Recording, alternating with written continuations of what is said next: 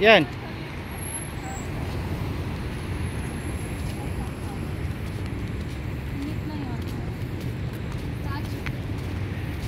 Hey!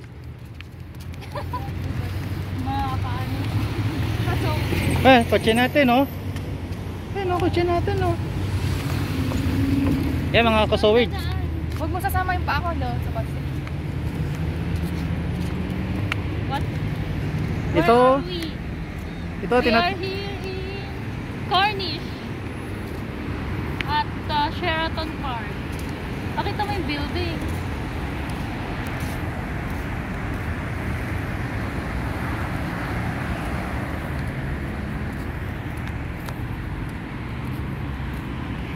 Oh, pakita mo.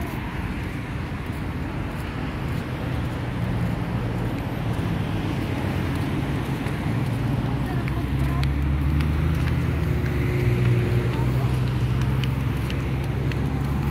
Where are they? So weird. Itatag ko nga si So Weird. So weird. Kailangan maka 10 minutes tayo. Na video.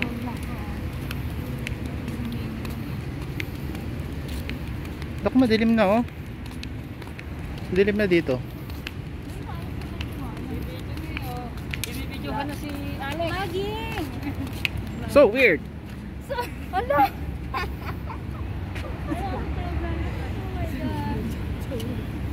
Tara na doon. Saan? Doon? Madilim eh. Dito, dito. Dito, dito. Dito, dito. Ang daming tao.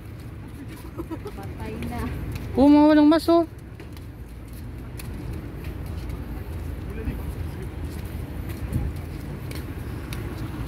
Daming tao.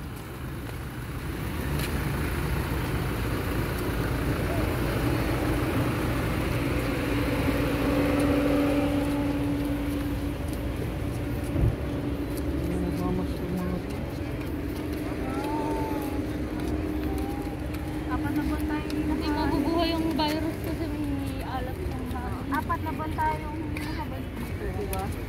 Last natin nag-isaw pa tayo. Ito namin yung February. February pa tayo. February 14. Nagkakanak tayo at kasi din. Ulo? Oo. Wala na na. paano. Ang dilim niya.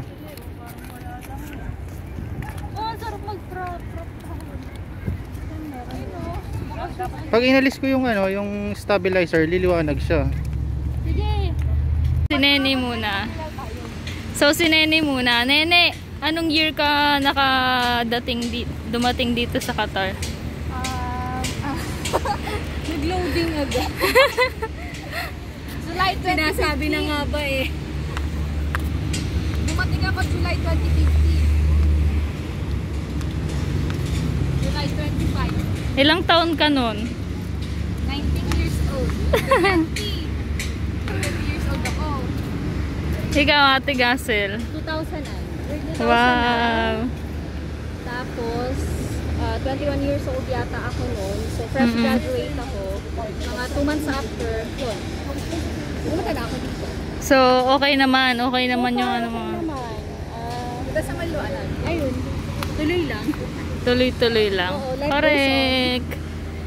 Kasi mahirap nang bumalik pagka... Ikaw? Kailan ka nagpunta dito? Anong year? December 2011. How was it so far? Yes. So weird! So weird! How was it so funny? so weird! Wala na akong masabi. Wala na rin ako matanong. Hoy, magkwento ka naman. Sarap magbike, oh. Anong meron sa Qatar? I-share natin po. Anong meron sa Qatar? O, anong meron daw sa Qatar na pinakagusto mo? Tahimik siguro. Kasi Oo syempre, ah, hindi naman ako. Tipid sa AC. Oo nga dito. Kaso mainit pero okay. Oo nga, sobrang init pag summer. Talagang umaabot ng Pero kapag 45. winter naman, sobrang ano din, talagang malamig, syempre. Mm. Tsaka yung ano, yung bang tawag dito, yung sinis pag stereotype nila pag Middle East, ano, hindi nakakalabas ng bahay, bawal ano, magsuot ng mga revealing clothes. Dito hindi, medyo open na dito. Para na siyang Dubai. Hindi naman siya. Hindi siya masyado mahigpit. Actually, unti-unti nga nila binubuksan yung tourist ano nila. Kasi, binibuild up nila yung country. Nire-ready nila for FIFA. Dito gaganapin ng FIFA 2022. So, ano, ang Excited na daming... din kami, sana nandito pa kami. Oo nga, sana nandito pa kami. For the first time, makaka-experience kami ng ganun. Wow, tingnan nyo kung gaano kalinaw. Kahit sa gabi, kita pa rin yung ano, yung kaniyang ilalim. Ganyang kalinis dito, walang kakalat-kalat. Oh.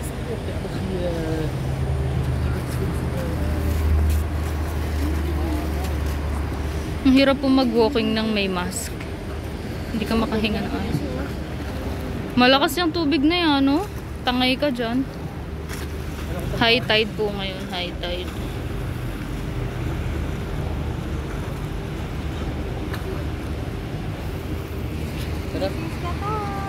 Malinaw.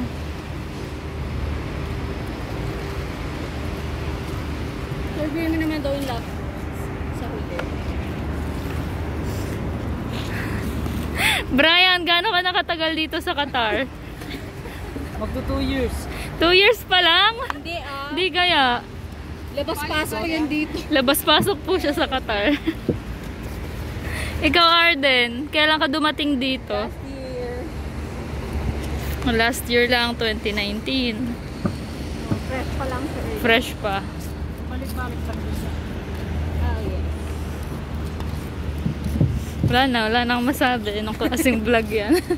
Ito namang mga to ay susubay. Magingay! Ang init. Para tayong si Alex, dapat na energy. Oo nga, grabe yung energy ni Alex eh, no? Ayun o, nag, nag ano sila, fishing. Oo nga. Sabihin mo yung English na sinasabi mo palagi. Ano yun? Yung ano yun. Namimingwit sila. Yung may, ano mo lang, may pasok mo lang. Ano? Sci-fi. Ay, sci-fi. What is sci-fi? Naalala ko talaga yung mate. Parang Mga banat ko niya. na yun. Ano daw yung sci-fi? Picture! Gumiti ka pa, ate. Kasi nakapas ka. Yun, may eh? Least naman po. Madami pang mga construction dito. Actually, ano, sabi nila, Qatar is yet to be a developed country. So, that means, developing country pa lang sila. But then, napakayaman nila.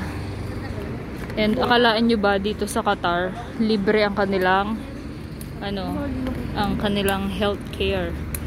Uh, merong, ano. Ko, Pamingwit. pamingwit. Fishing rod. May pinsan ako single, baka naman. Come on! Ah,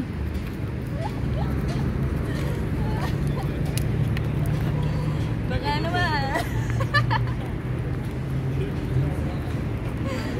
I hate.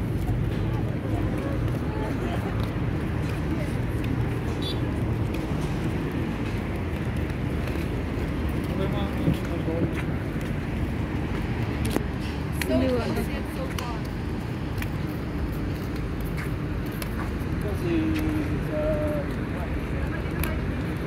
hawakan mo na lang yan. Wala ka bang bulsa?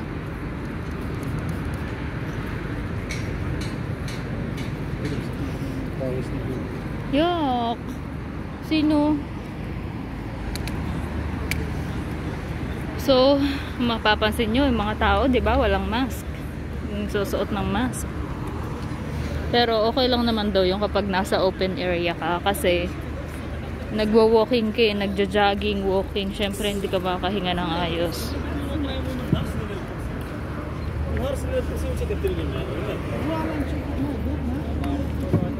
Yun po si Alex, oh. Alex Gonzaga. Dito ka mag ano. Katawanin. Dito muna tayo. Dito daw muna tayo. Dito, maliwanag oh. So, Wala nga akong matanong. what's the question? Ang tanong! Anong tanong? Ano nga ba yun? Yung ano, tatanong. Paano maging masaya? Random question. Paano daw maging masaya? Si Ate Happiness a yung interview. choice kasi. So, So, ladies' choice. ano. Ladies' choice. Kunwari, nalulungkot ka. Interview. Ano, ka ng way para, you know, to Maging up. masaya ka. Diba? Totoo yun. Correct. Kailangan mo maging busy. Oo nga. Keep yourself busy. And then, pray. Kasama yun. Come on. May pinsan akong single.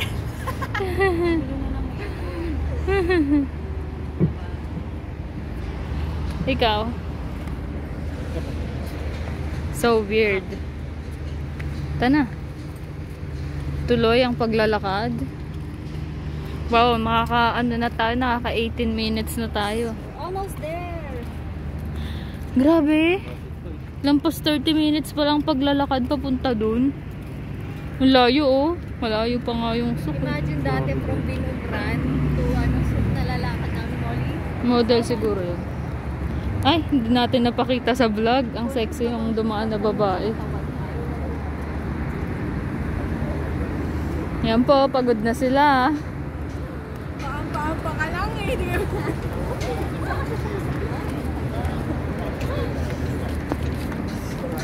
Si Mami Pin. Si Mami sino? Ako daw si Mami Pin. Ikaw kala ko si Arden, si Mami Pinti, malaking balakang. Grabe naman. Tingnan sa malaki yung balakang mo eh. Sana ako nagbalak.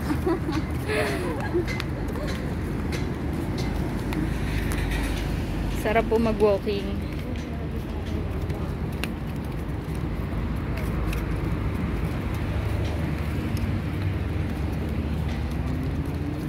Si Nene.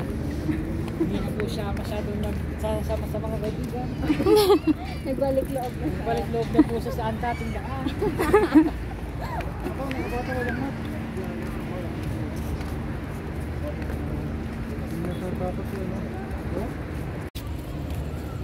Yun na po.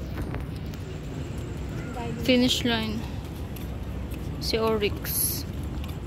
National Animal of Qatar. Oo nga naman yan. Di ba? Oryx. Hindi ka pa nakakita ng Oryx?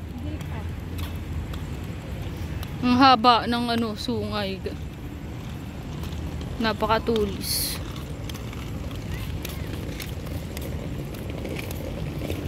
Wow, may pailaw sila sa dagat.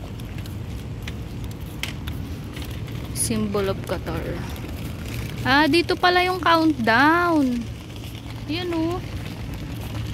Hours, minutes, seconds, days. Countdown pala yan ng ano. Countdown FIFA. Yan siya.